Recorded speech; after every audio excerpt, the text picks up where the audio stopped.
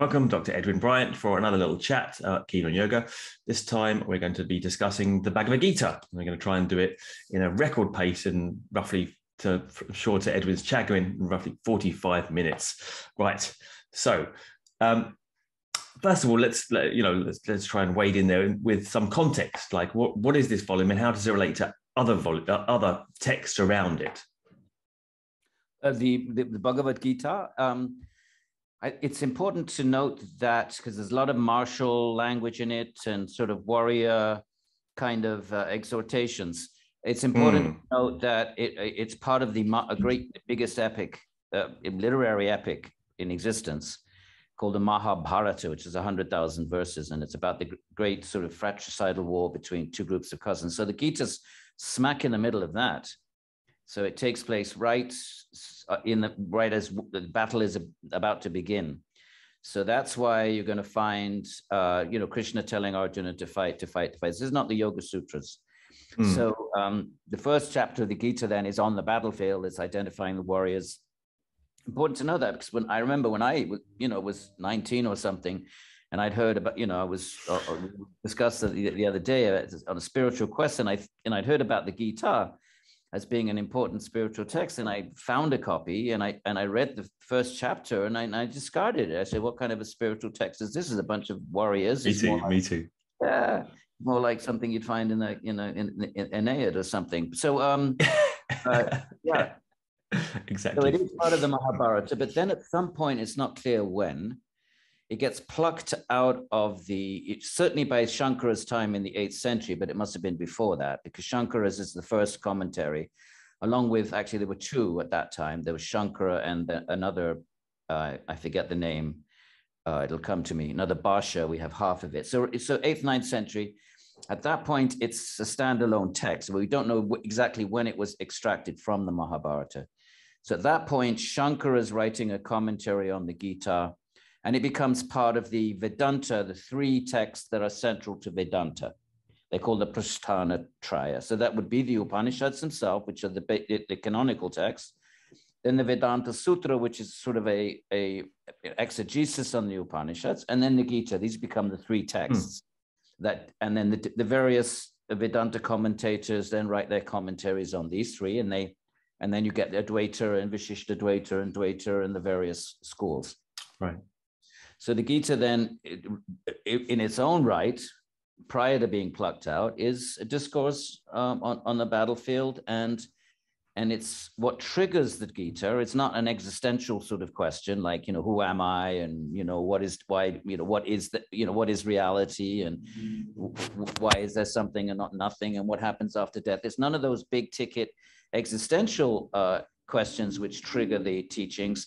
Arjun is confused and not about his existential self, but about his dharma, because mm. he has a, a kind of finds himself in a situation where there's two conflicting dharmas.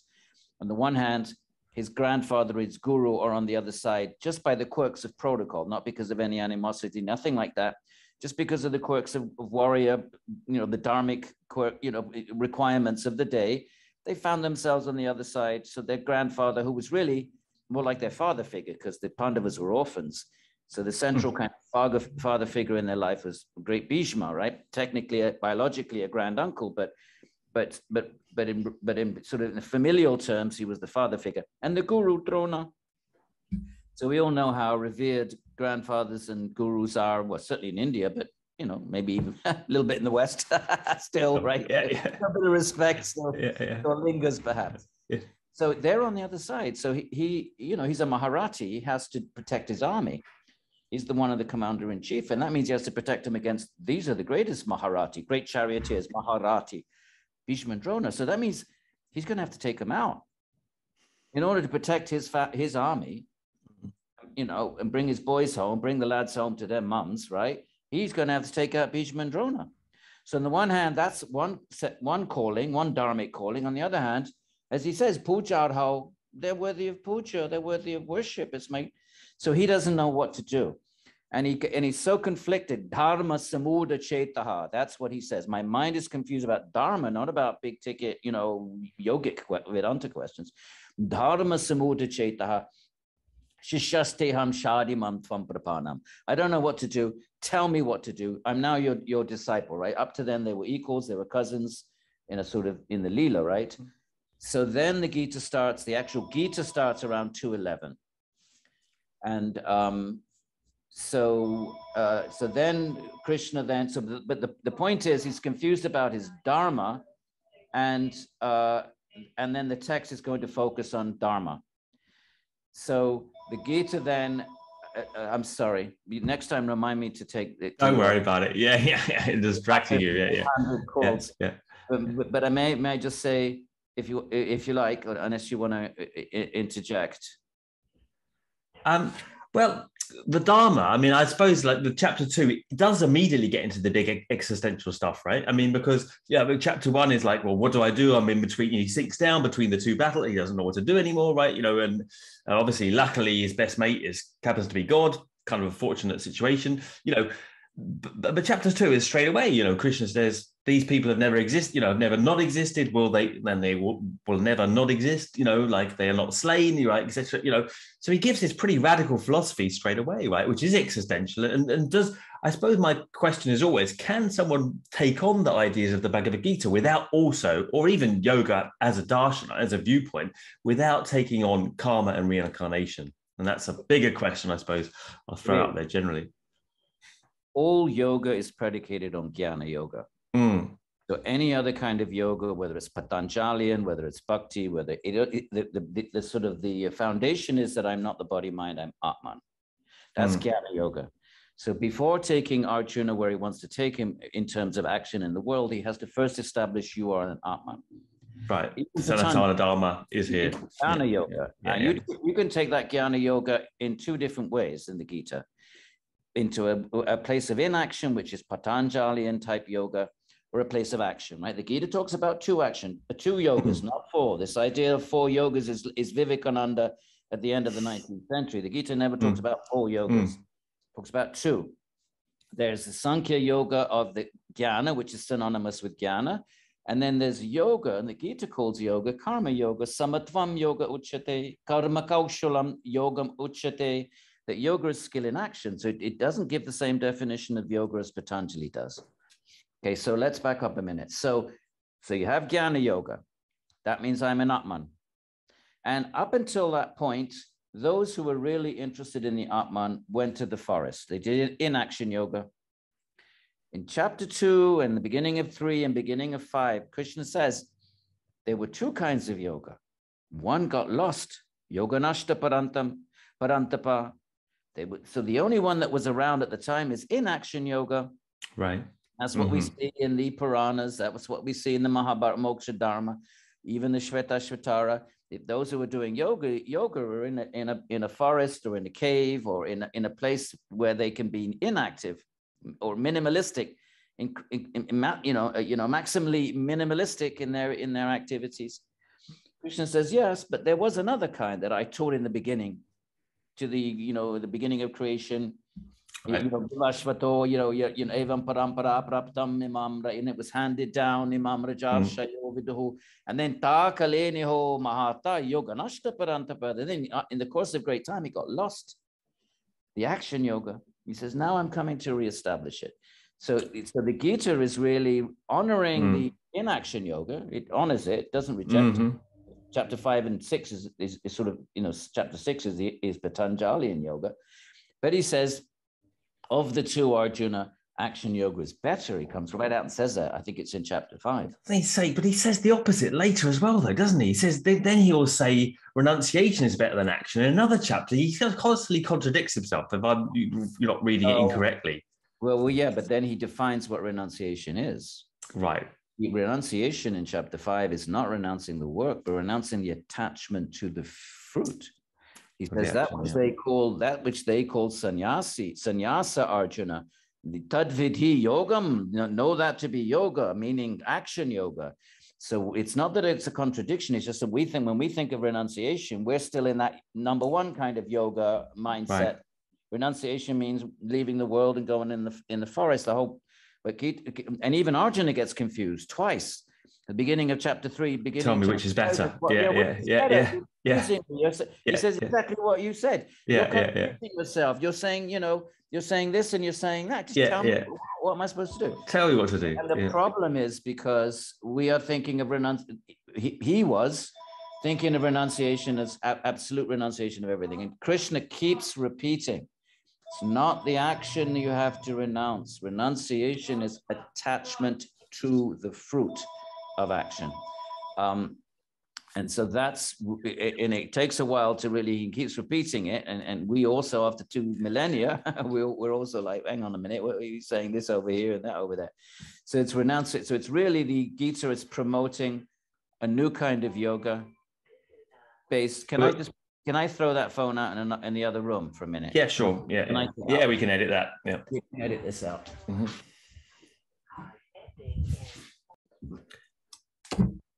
So can we take it the, the, thrust of the text or the reason? I mean, what's the reason for the text? Like Patanjali, we say, you know, was writing, you know, as uh, uh, to defend uh, yoga or, or Samkhya against Buddhism, against the Buddhism. And are we looking at Bhagavad Gita as trying to bring back the idea of worldly people in the world as opposed to all these people leaving the world, which is a bit of a problem, you know, for for society?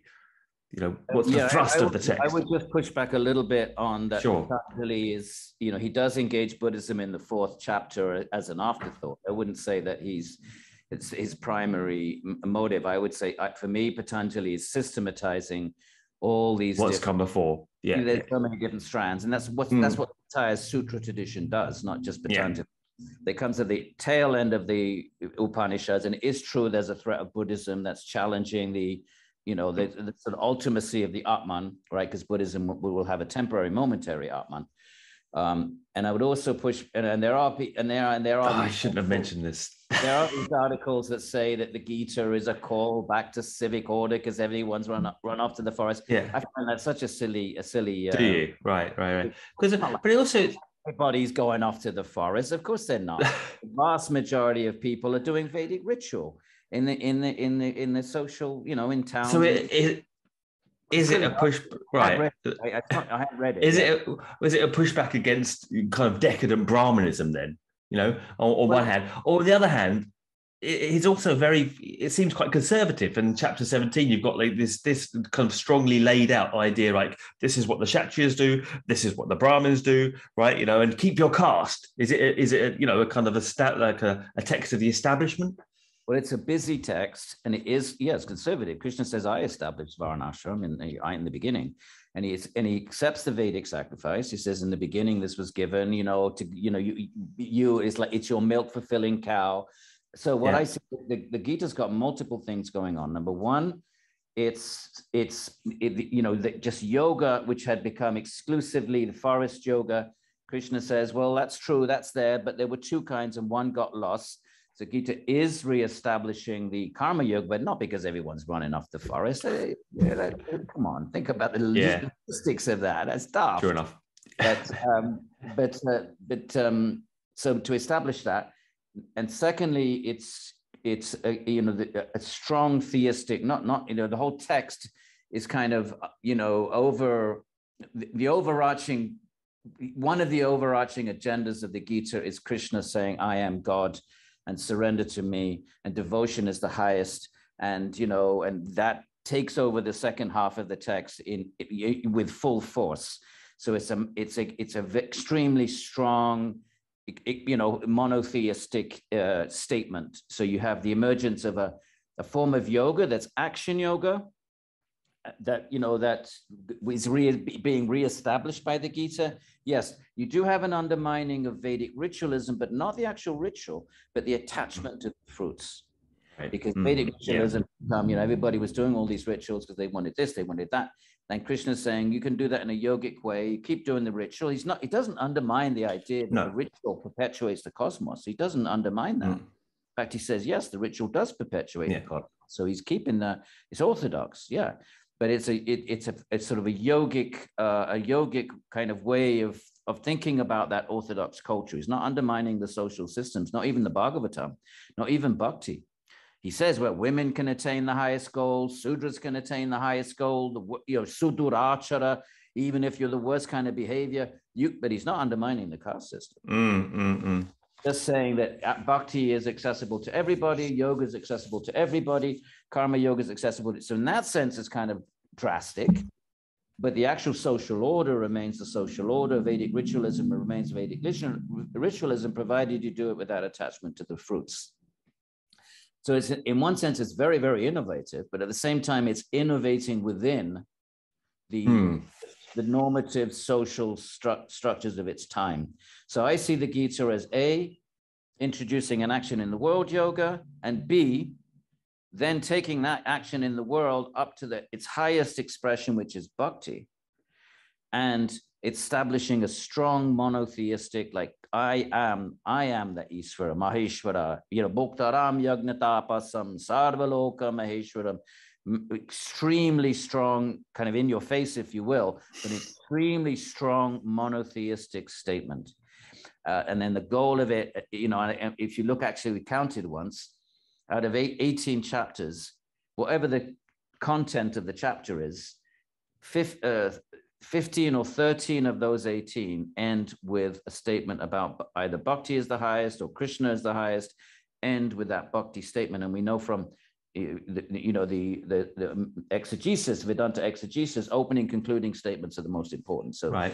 always makes this point of at the end of the chapter, even though it seems like it was talking about this, that, and the other, comes back to, you know, yoginam api sarvesham madgate antaratmanam. Of all yogis, the one who surrenders to me is the best. Comes back to some kind of a bhakti slash monotheistic statement. Mm.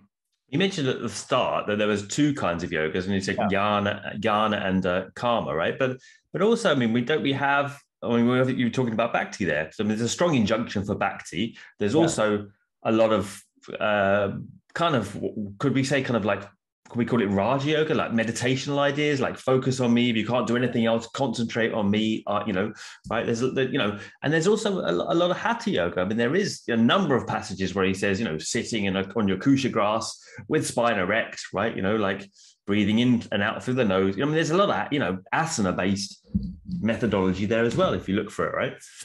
So, Yeah, I, would, I think the, we, it's a question of categories here. Let's just Right. stick. Let's stick with the two kinds of yoga that Krishna himself in the Gita, because we're talking about the Gita here, right? So the Gita itself, in the beginning of chapter two, and the beginning of three, and the beginning of five, and we can pull those verses out if we want. Two kinds of yoga. So there's the yoga of this yoga. There is the Jnana Yoga Sankhyanam. There's the Jnana Yoga of the Sankhya people. Patanjali is part of that. Patanjali asana is Sankhya and is Jnana. And that, and that Jnana can take two, that can be subdivided again into really Chittavritti Nirodha kind of, which you see in chapter six, and a more kind of Jnana or kind of Advaita style Jnana where you don't really Chittavritti Nirodha, but you're as inactive as you can be. And you're, you know, you're contemplating the, you know, the, the Upanishadic truth. So let's just co- call all of that Jnana Yoga slash Sankhya Yoga. And that in Patanjali is a part of that inaction is the focus. mhm, yep. Whereas action yoga can take a karma yoga sort of uh, expression, which is do duty for duty's sake with no attachment. But then it's clear that the highest form of that action yoga is bhakti. Right. It's Okay, so part of karma, Yeah, well, it's the it's the highest. It's the highest highest karma, right? karma. Yat karoshi, jehosi, tadasi, yad yat tapa- tat kurusva madarpanam. Whatever you do, do it, offer it to me. Now, now the okay, the boundary is a little bit porous, as you say, because even if you do inaction yoga, you can still fix your mind on Bhagavan and do that. So that can still be bhakti. So bhakti kind of, you know, so really action, inaction, bhakti transcends that because you Mm. can do bhakti in an active type of way, puja, offer everything, do your duty, offer it up, or you can do bhakti in a sedentary chittavritti nirodha sort of way, which is what he says the end of chapter six. Chapter six is all in action yoga, Patanjali yoga. And at the end, he says, Oh, and all these yogis, the one who fixes his mind on me is the highest. So, but let, so we have to, bhakti transcends those categories. But underneath those, underneath you have an inaction and action type of, you know, of uh, bifurcation. E- even though the inaction is has different modalities, the Gita itself talks about two yogas. And, and look, read chapter four to be clear about that. And chapter five, uh, beginning of chapter three, I mean your listeners, I mean, beginning of chapter three. Me as well. You're not, you're not, you're actually, I'm trying, I'm trying. What, what about, I mean, I don't, I, uh, chapter 18 is really, I mean, that's the, if we, if we call that the end finale, right? And it's important, right? Because it's conclusive it's really going back to the, the idea of the gunas, right? You know, and and this idea that everyone has moved like a puppet, like you know, I mean, he talks about this a lot. You know, let the gunas play with the gunas. The wise man knows that the you know that they do nothing. That the gunas are everything, right? I mean, there's a there's a great deal of still kind of Samkhya-esque talk on the importance of understanding the role yeah. of the gunas, right? Well, that's the first half of the chapter. And once he's done all of that Gunic talk, then, is, then, then he says, okay, listen again. to me one last time. Yeah, yeah. Devote to me. Yeah. One last time. I'll sum it all up. I've done all of this 17 chapters. Here's my grand finale teaching. Manmana ah, bhavamad bhakto madhyachit. Fix your mind on me. Surrender to me. And he says it three times. By my grace, by my grace, by my grace, you will attain the highest destination. And it ends up with sarva dharma paritya. Give up, even give up all dharma Mam ekam sharanam braja. Surrender to me. That's the last instruction. And then he says, Arjuna, have you heard? Did you get it? Arjuna says, yes, yes, yes. And then we're back in the Mahabharata. So you need, so the, it's very true. The first 30, 40 verses are gunas, but, but then he, you know, so he's going over that again. And then he says, okay, now I'm going to sum it all up, Arjuna, and listen to my final word, my grand finale conclusion. I'm summarizing, and it's exclusively bhakti. And mm. so, yeah, so go to verse like 50, 40, you know, late 40s, 50, and then right up into the, you know, the famous 1866. We give up everything to, to me, including your Dharma, right? You just spent 18 chapters talking about Dharma, Dharma, Dharma. And at the end, he says, mm. even that up and surrender to me. Yeah, yeah. That's the ultimate message of the Gita, Adam. Sort of verse 50 something to 66. Has it, what's its impact, I suppose, on not I suppose, but what's it, what's it's been its impact on the population of India, right? I mean, as, as a as a foundational text, it seems to be at the heart of the spiritual perspective we find in India. And people have said, uh, you know, I've read arguments saying that really it's encouraged a kind of deterministic, fatalistic attitude, or or it was or it was put out there by, say, colonial powers to encourage a rather passive idea that you know you couldn't do anything that you know like you know the gunas were at play right you're only puppets right on the other hand, you've got a dynamic Arjuna who's a warrior, so that's not quite correct. Um, how how do the two? Um, what, what are your feelings about that? Well, you know, all this. Remember, people that will make these kinds of comments, if they don't believe in an Atman or a Bhagavan or any kind of moksha possibility, for them it's all a human construct, right? And they, for them, it, it, and therefore you're looking at power. It, back to what we discussed before, mm-hmm. Marxist and post-Marxist kind of interpretations. What's going on here? Why the British? You know, who's who's who's controlling who? Who's projecting power where? So that just reflects a, a, a, a starting premise. If you're a materialist, you're going to think like that. If, you know, but um, if the question is in the tradition, What's been the influence of the text, I suppose? Yes, okay. in your in your mind, yes. Before the modern period, it you know it wasn't quite it wasn't like the so-called you know the main canonical text of India. It was kind of a Vedanta text. You know, it was read, but not universally, not in the way it is now. Uh, I think it is true to say that when the British came to India, I don't know, maybe it started with the Portuguese. You know, that that, that little mm. interesting you know work to be done on the Portuguese still. But let's go mm. with the British because um, you you know they came in the 16th century. Mm, mm, mm, that's another yeah. story. The right. British, you know, yeah. their their idea of religion is one book, one prophet. Yeah. Or in case of Judaism, a bunch of prophets, right? Islam, right? One book, one character, Jesus Christ, Muhammad, or in the case of yeah, and one God, right? So they go to it works then. What, yeah. What, what is your book? Yeah. And you can imagine the Hindu saying, what, you know, what, what We've got a book. Yeah, it kind of works, right? There's two protagonists, and you know, right? Yeah, yeah. Yeah, yeah, yeah. All right, we'll take that. Point, yeah. At this point, from both sides, I think, from the colonial side, sort of, but it would have been the pundits first that sort of brought forth the Gita as a sort of an appropriate kind of conversational partner with these okay. Western way of thinking. So the pundits would have been Vedantins. They brought forth, and then the, the, the, then the British sort of, you know, in the beginning they even called it the Bible of India, and it's the first book to be translated in you know 17 whatever it is 88 by Wilkins. So then it takes on this status, and that filters back down in India, in the modern period, post-colonial period, where then more and more Indians start to think of it that way and now it's sort of big and then when the good big gurus came over in the 60s they all you know this was our gita you know that was our that's our kind of like national. So then it takes on this kind of new uh, status and presence which wouldn't have been quite as strong prior mm. colonialization it would have been a text in circulation but only the brahmins and and vedantins would have read it. Mostly the people on the ground will be reading ramayana and Mahabharata and right. and you know vernacular versions of the stories and the Puranas. Right. They wouldn't be reading these sutras and the in the Gitas kind of, you know, it's philosophically fairly dense. Mm, mm. So the, True enough. Mm.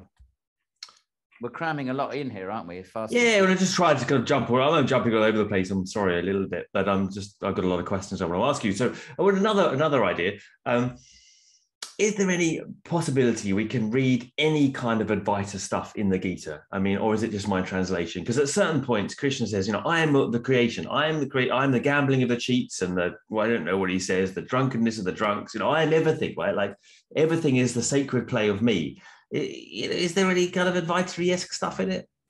Well, it, I, okay, but Advaita makes three. Let's just go with three statements. Like one, the world is unreal.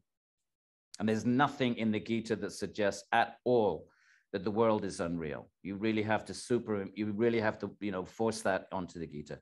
The second, you know, major statement of Advaita is that the souls are, you know, merge into Brahman. There's yeah. not much of that. Krishna says, Mame Vanksha Jiva Loke, they're my Ankshas. Yeah. And um, yeah. And the third, I, I in them, not them in me. I mean, there's a specific part right, where he says, "I am in." Yeah, yeah. And then the other thing is that Brahman is impersonal, that, you know, ultimately Ishwar is also an illusion. Ultimately, there's nothing to that effect in the Gita. So I think Advaita really has to work very hard. Now, having said that, there are a couple of verses where, you know, the, the, the term union with me is expressed. And obviously Advaita would understand that union as absolute union, a merger, or, you know, where you, there, you know, whereas the Vaishnavas would understand that a union in love. But there are a couple of verses that do, you know, are sort of that can be more easily interpreted by Advaita. I think Advaita has a better time with the Upanishads, the Brihadaranyaka and the Chandogya. But even there, nowhere does it say the world is unreal. But nonetheless, I think the uh, I think it's uh, the Upanishads a little bit easier for Shankara, not the Vedanta Sutra. I think anyone who objectively studies Vedanta, it's, it's some kind of a difference in oneness. It's some kind of a Bheda Bheda type text. It's mm. not a, a, radical Advaita. So Advaita's got an, a, a, disproportionate amount of attention, and I think that's because of some of the the great nationalists, you know, Vivekananda, Vivekananda, and and and uh, and Swami Shivananda, mm. because of their presence that it's got an extra, you know, an extraordinary amount of, of attention in sort of um, in, in, the Hinduism that came over to the West. But I don't, I, I Gita is not, is not, you know, a, Advaita kind of uh, friendly text. It's not something that lends itself to Advaita at all. Much more a kind of a Ramanuja, a Madhva, a kind of a, you know, there's a oneness there, but with just, just the real world, a real God who's a personal being. I mean, Krishna is clear Brahmanohi pratishtaham, you know, Brahman is founded on me. I am the supreme. I am the source. I mean, you have to work really, really hard to try to, you know, ne- negotiate negotiate your way out of that. Um, what so, about bhakti? As a bhakti in yourself, what about bhakti in the text? How is bhakti? I mean, can is there other, more than one way to interpret that that thrust in the text, or is it you know? Bhakti is is Krishna says throughout surrender to me. I mean, the we were talking about the end, right? Man mana, bhava mad bhakto, fix your mind on me, become my devotee. The very, very mm. end. Madhyaji, sacrifice to me. Mm. So I, I I don't know how I don't know what to say. It's, it's it, you know I am a bhakta, so I suppose people will turn around and say, well, you're a bhakta, and that's why you think that way. Yeah. Does it inspire you? The text? Does it? Has it? Does it? Right. I don't see how you could read the text. Any, it's so obvious and clear and blatant. I mean, the Upanishads, I understand. Well, I suppose yeah, there's a different kind of sacrifice, isn't there? I suppose because at one point he says, well, you can do it by diet, or you can do it by you know breath, right, or or ritual. So maybe that's where the, the bhakti, well, you know. There he's talking about just sacrifice. He's saying everybody, all beings have to sacrifice. So then he gets that whole section about the different kinds of sacrifice, but he concludes it by saying, therefore, you know, I mean, the, the only way to be in the world is to sacrifice. But then he then he goes on to say, well, sacrifice to me. I am the, you know, the, I am the Lord of sacrifice, and you know, then he then he then he presents himself as the ultimate object of sacrifice. But in all those verses about sacri- some sacrifice the breath, some sacrifice the fruits of action, some mm. That's all this just establishing that sacrifice is non-negotiable in some form of passion. But then he goes on to say, well, since it's non-negotiable, the highest thing you can do with this non-negotiable reality of sacrifice is to sacrifice to me. Mm. It's so clear. I, I mean, really, honestly, Adam, I, I mean, the, the Upanishads, I understand how they, you know, because the Upanishads are not systematic, they're not clear. They say one thing here, another thing there. I suppose because people don't want to devote. I think there's the, you know, that I mean, you know, I think kind of Judeo-Christian, the you know, kind of religion has really has really uh, made that rather unfashionable these days. You know, it's put devotion and sacrifice and you know, and this kind of attitude. You know, which we which we were we know we're living under for so many years. I think, but it's, it's not a popular idea anymore. So the Advaita thing is, you know, it's you know, it, it seems to preserve more autonomy for the person, but um I agree with you but, completely. You know, yeah, um, is not in right. It's not cool these days. It's not cool. I mean, but you know, on that level, I mean, practically speaking, I mean, how how would someone use this text then? You know, um, and and I always think what about this idea of duty? Like, do your duty and don't do another's duty. I mean, how the hell are we meant to know our duty these days? At that time, it was really bloody clear. Like, you know, you're a warrior, you do that stuff, right? Like, you kill people, you know. You know. But now, in this, how is someone practically, you know, our audience going to use the Gita? No, it's not. It's not helpful for that because, right. as you said back then, first of all, it was assumed you know, pretty most people, you know, your the family you were brought born into would be the product of your karma.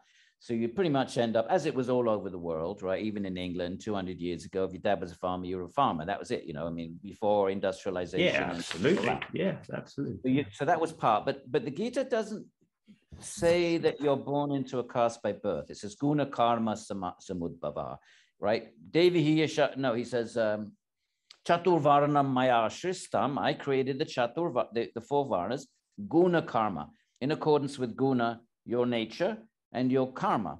So, uh, but, but your question is how, so, so back then you knew what your Dharma was because you look, you read the Dharma Sutras. And you, you, do you need to wrap this up? No. Oh, I thought you were speaking. Hey, you're so yeah, you're so quick. You're looking. I was just kind of looking at adjuncts to that same question. Carry on. Sorry. quickly. Yeah, yeah. So we don't have yeah. any method of knowing, you know, simplistically what our dharma is. So if we just go with guna karma, I, I would just say this, and this is me, right? We don't have Krishna. Mm. This is how you identify your dharma. I don't know any text that does that. Any pre-modern text uh, the assumption was, you know, you do your you know your Dharma. Yeah, it's quite clear. Dharma, mm, and then mm, you mm. have a problem, you read the Dharma Sutras. But I would just say for us, it it would be what is it that is your basic your nature? What comes naturally and effortlessly? Whether you do it with success or not is irrelevant. But what is it that when you do, and it should be something that's been with you your whole life. It's not some great idea. Oh, oh how about we do this? How about we do that? Right? Mm. Some idea comes and two weeks later, you you know you've forgotten it, got some other idea, something that's always been with you. You know, are you the sort of person that is an activist in the kids in the playground? You'd stick up for the you you know you'd fight the bully and stick up for, or are you you know you are you trading football cards and making a making a couple of you know making a bob here and a bob there is that or are you into in nerd and you know or do you like working with your hands in the carpentry shop when you love that's best part of the week when you get to get you know so that it begins to manifest right from the beginning. Mm. And our problem, of course, is from the point of view of the Gitas, we're all mixed. Remember the beginning of the Gita? well, one of the reasons Arjuna doesn't want to fight the war is because then all the, everyone gets killed. Then there'll be mixture of castes. Yes. Yeah. Nobody knows what to do. So yeah. that's, that's yeah. basically us. So we were in a state of perpetual confusion because we might have a bit of Brahmin, bit of Kshatriya, right, right. everything going on. But I would nonetheless say there should be, or there could be, or, or hopefully if we're lucky, there is a dominant sort of thing that we have always oriented ourselves around that comes naturally that is ple- that is you know that, that we feel at peace with that makes us feel a little calm and sattvic when we're engaging mm. in a particular kind of activity that would be our dharma mm. and, and it shouldn't be sort of social pressure like okay do this because you make a lot of money or do this because it's socially prestigious we have to go into a place of sattva bracket all of that bracket where our well-meaning parents would rather like us to do and just really go deep and say, what is it I've always wanted to do? Because they mm. should be lurking about, even though we may have this mixed kind of, the gunas are mixed, they're not as clearly defined as is idealized in the Gita. Gita has this idealized sense that everyone's gunas are going to be relatively coherent. Even though yeah. even the Gita says, you know, sometimes sattva is dominant, sometimes rajas, even the Gita recognizes the gunas, but I think it's talking about on a day-to-day basis. But in overall, we should be we should have these prominent gunas, according to the Gita, which um, feel comfortable doing a certain type of activity. and also, it's yeah. I'm sorry. Comfortable working with yeah. their hands, and they love yeah. Or in a dance studio, and when they're there, that that's the best place for them. Someone else likes to make money. He's always looking at things in terms of how how much could I make? I could buy this here, sell it there. He's always thinking how much is that worth? How much is this person worth? How much money is that in that? He's just thinking that way. And the Brahmana type is intellectual and more sort of look probing for causes. And, you know, so we, I think we have these natures. And, and if we can just identify them and find an occupation that fits around that, then we, you know, we won't be enlightened, but at least we'll be a bit peaceful and a bit sort of content in, in our bodies, not just in our bodies, but in our social, in our social body, in our social spheres and then I think to, and then I think to find that you you still have that strong kind of Patanjalian idea of control your senses, right? Control your wish for pleasure, right? I mean, there's a there's a that, cuts, that cuts it. I'm sorry, I interrupted you. Go ahead. No, not at all. No, I was just going to say, like, you find that kind of like delayed gratification idea, right? Like, first that pleasure that's like poison, right? That gradually becomes like nectar, and right, you know, and that tamasic pleasure that I love this one is like bad at the start and then bad at the end as well. Like, don't do that. Like, like bad idea, yeah. Poison, in the beginning and poison. Yeah, poison at the end. It's like, why the fuck would you do that, right? Tamas, um, Tamas yes, yeah, Tamas, yeah, yeah. But um, you know, so there's this strong idea that you know, like that comes kind of cuts across, as you were saying, all, all, yoga, right? Which is like sensory control in order to find that intuitive understanding of what you are and what you want to do, right? Rather than follow, oh, now I'm, you know, that seems attractive and I'm pleasurable, I'll do that, and then jump across here, do that, right? Which is, you know, interesting in the current age, which is so quick and wants immediate pleasure. Yeah, but, but I, I, I'm, I would put it this way. There are two different body, two different discourses. One is what your right. dharma. That's your dharma. And the yoga is, is going to be a tiny, only a small percentage of people would be doing yoga. So Dharma is what 99% of the population is doing. They're not necessarily yogis. And Krishna says, don't disrupt their minds. Just have them do their Dharma. Don't start talking about too much intense yoga because that's not going to upset their minds. Better they do their Dharma dharmically, even with attachment to the fruit. So the first thing we were discussing is how do you know your Dharma just in a mundane, forget about yoga right? Um, am I a teacher? Am I a, a, a, sort of activist warrior type? Am I a business minded sort of person? Do I like to work with my body and my hands? That's a separate thing. Now, on another level, there's yoga, which is what you're talking about, giving up the objects of the senses, all of that, tapas. And then karma yoga then blends those two. So whether you're a brahmana or a kshatriya or a vaishya or a sudra, you can still be a yogi if you follow yoga the principles, which is giving up attachment to the fruits and then and the and the rest of it, right? So you, basically, that's what it is: giving up all attachment to the fruits and just doing your duty with no desire. That's karma yoga. It doesn't talk mm. about adhyaya. It doesn't talk about anything else, but it does talk about bhakti. And then you know, once you're, you're then if you if then if you do that, you'll get your atman. If you do your dharma without any attachment to the fruit, you will reach the same goal as the yogis, the Atman. Bhakti is seeking a higher goal, not just the Atman, it's seeking Bhagavan. So that's a whole other discourse And again. So you've got just a regular Dharma discourse, you've got a regular yoga as levels, levels. Um, well, the yeah, the levels of aspirant. Gita hierarchy, hierarchy. You you quoted the verse. Fix your mind on me. If you can't do that, then you know do, can't do yeah. that. We'll give up the fruit. And then Gyan is at the bottom of that list, if you notice, 12th chapter. So let's let's think about it for a minute in three different ways. One, okay, just do your dharma better than not doing dharma, and then, then yeah. civic order, civic orders maintain society. Yeah. yeah. do your Vedic sacrifices, gods will give you rain. Right. Then you got yoga, which can either be forest and, and you renounce dharma. And he, Krishna says, okay, but there's another one, second one, where you graft yoga and dharma, and that's karma yoga. The Gita is the first place that really, really talks about this. You might find the odd reference here and there in the in the Mahabharata. But it's really the first place where this hmm. powerful new kind of yoga comes out. And but just karma yoga by itself takes you to the Atman. Not right. Then, if you're interested in Bhagavan as a higher truth beyond the Atman, as the Gita will present Bhagavan, then you have to do that karma yoga as an offering and bhakti and offer it all. And then you're fixing your mind on God exclusively. Then it becomes bhakti. So it looks complicated, but uh, you know, if you really study it, and it takes many years for it all to sort of sink into place, there is an utter coherence about it in the entire text. There's an utter coherence and a sequence, and uh, you know, and and different options are provided. Mm, mm. What about? I mean, was it really the first text to mention karma yoga as a path? Yeah, yeah. I think there's, there's no a, no precedent before that. Yeah, for yoga. There, there may be a line here and there. I think there's a line in the Upanishad I remember reading about giving up the fruits.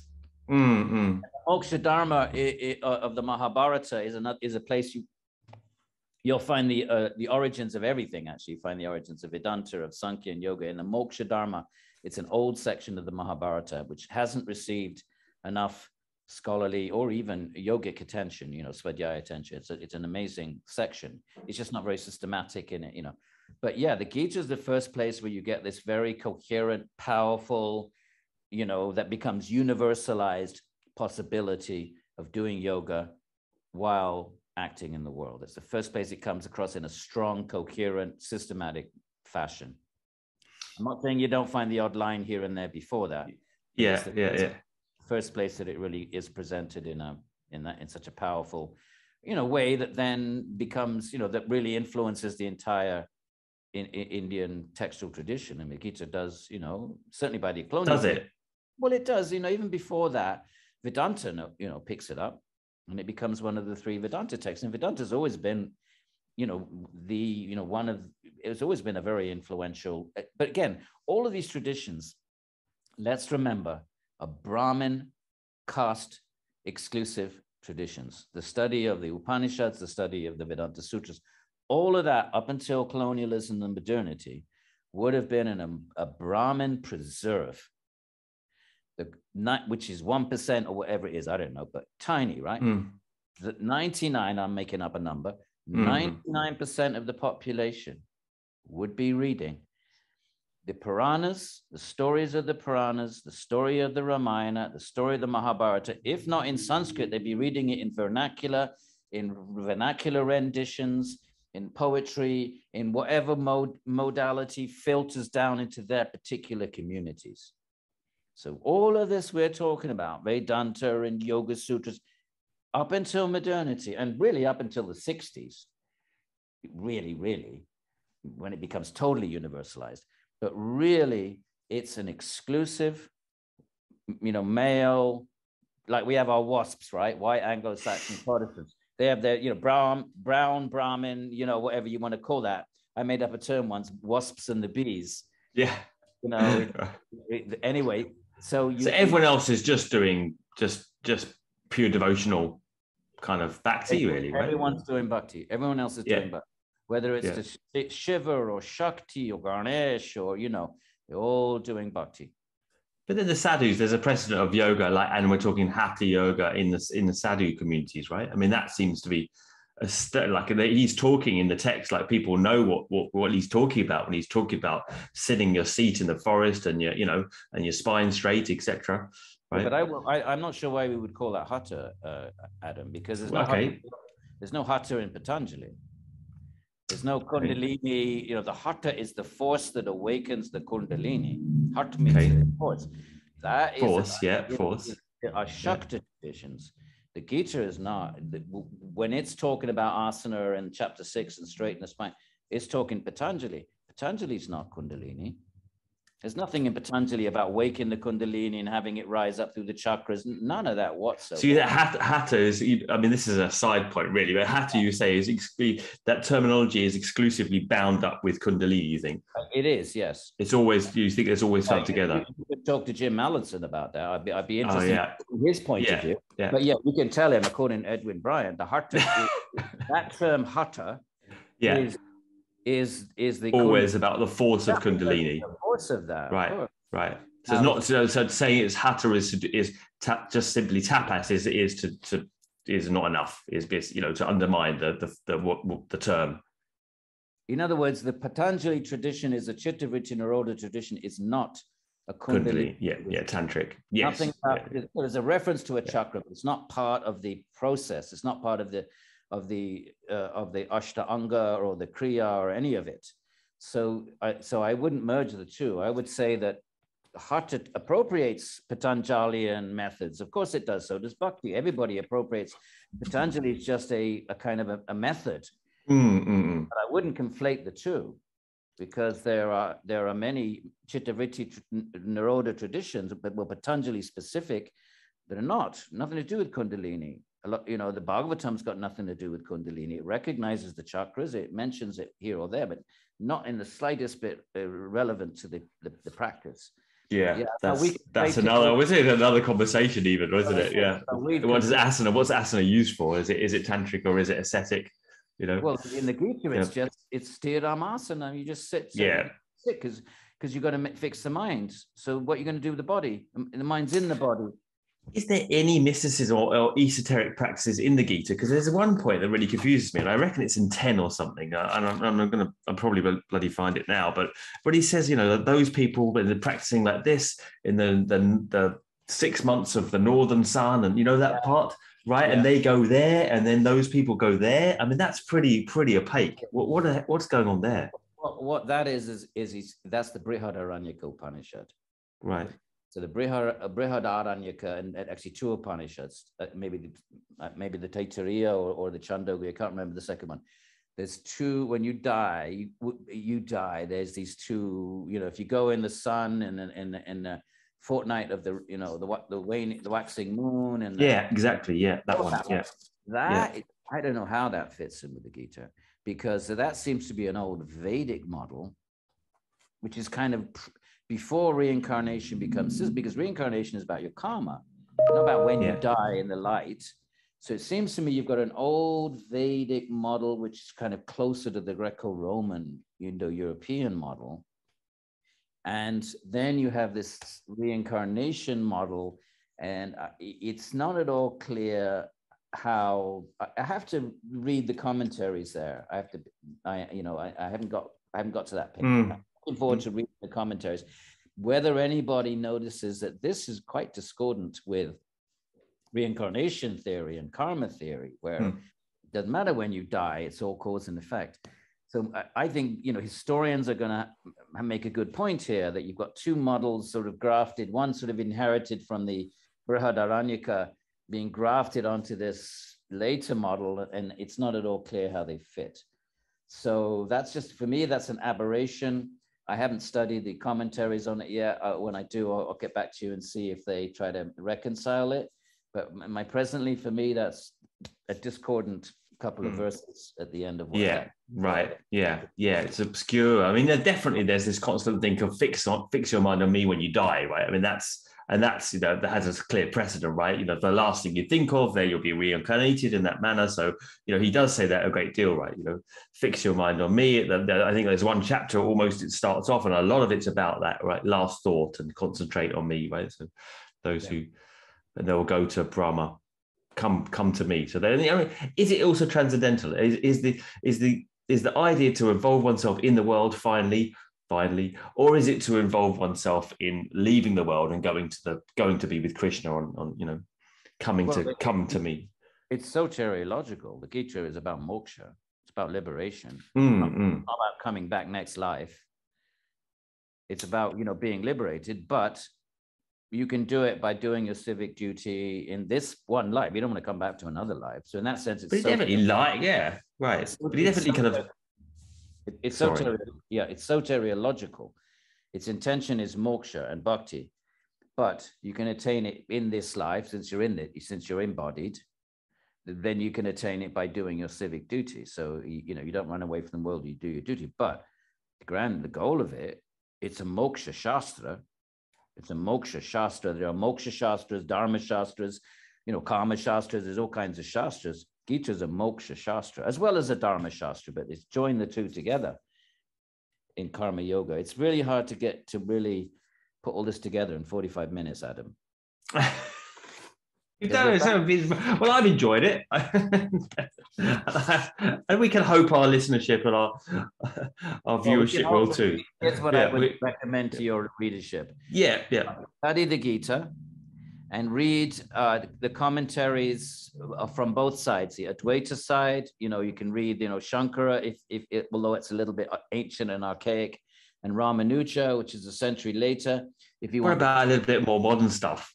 Well, in that case, read the Shivananda one for Advaita and read the Bhaktivedanta Swami one for the for the uh, Bhakti, the the Vaishnava one, right? Because you have basically two streams, which obviously subdivide into multiple streams. But you basically have the sort of Dwaita, Neo Advaita kind of, you know, and I would go with Shivananda for that because he was a one, he was a great, you know, and I, I have a lot of respect for Shivananda, hmm. Advaitin. And then for the Bhakti one, if you want something that's you know that's a, comprehensible to us without like you know decades of background study then read bhaktivedanta swami the Hare krishna movement one for a good sense of what a bhakti interpretation looks like. That's what i mm-hmm. advise readers to do. Excellent. both good. them and if i may just add.